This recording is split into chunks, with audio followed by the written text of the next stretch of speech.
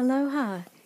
This is my painting Rainbow Dolphins. I'm a big fan of dolphins and these ones were inspired by my recent visit to Tangalooma Island Resort on Moreton Bay, which is in Queensland, Australia. Each night there the dolphins, up to 10 or 11, come in with their babies to feed. Um, the dolphins are wild and the visitors enjoy being able to get up close and personal with the dolphins. It's a wonderful thing to partake of or to watch, and I've found it a very healing experience. Um, when you see the dolphins in the wild like this, you become more conscious of keeping the environment they live in safe.